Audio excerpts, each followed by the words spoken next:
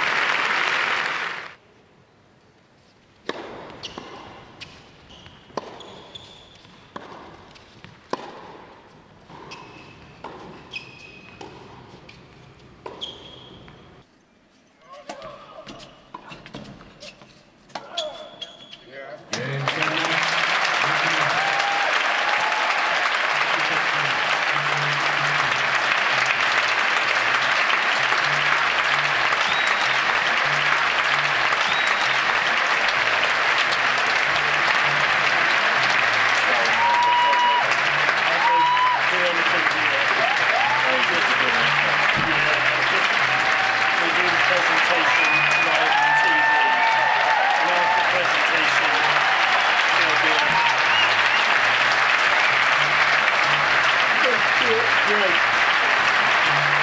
the world, Mr. John McEnroe.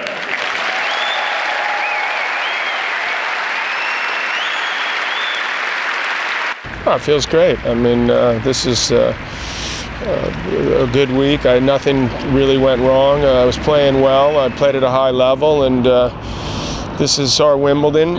So uh, it's a great way to end the year.